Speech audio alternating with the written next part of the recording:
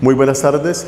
El área de vigilancia epidemiológica de la Secretaría de Salud del Departamento del Tolima entrega el informe oficial el día 8 de mayo del 2020 eh, sobre COVID-19. El día de hoy el Instituto Nacional de Salud ha confirmado cinco nuevos casos. Se trata de hombres entre los 26 y los 40 años de edad. Todos ellos viven en la ciudad de Ibagué.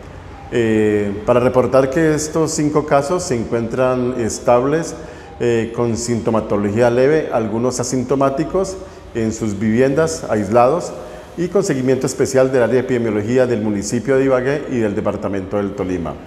Eh, con estos casos, el Tolima ha pasado la barrera de los, de los 100 casos, ya tenemos nosotros 103 casos confirmados de COVID-19, seguimos con los mismos tres casos de mortalidades, y los municipios donde se han presentado los, esos 103 casos, eh, Ibagué con 95 casos, tenemos el municipio de Melgar con 4 casos, en el Espinal 3 y un caso en el municipio del Guamo.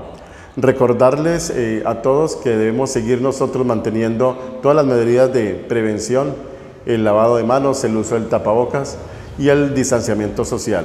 Muy buen día.